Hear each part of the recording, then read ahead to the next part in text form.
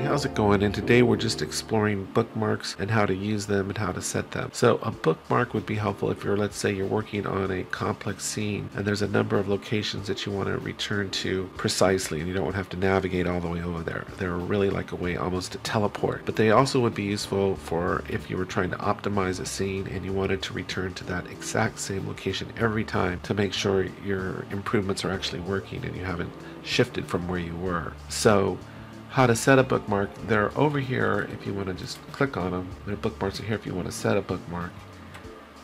But if you want to do it by shortcut key, which I think would probably be the fastest way, we just click into the scene here and let's say I want to get a front, side, and back view of her. So what I would do is I would hit control plus one to get set that bookmark for number one then let's say I would just go to the side here. Let's say I want a side shot here like this and I'd hit control 2 and then let's say I want to get a shot from the reverse angle from behind her now and hit control 3.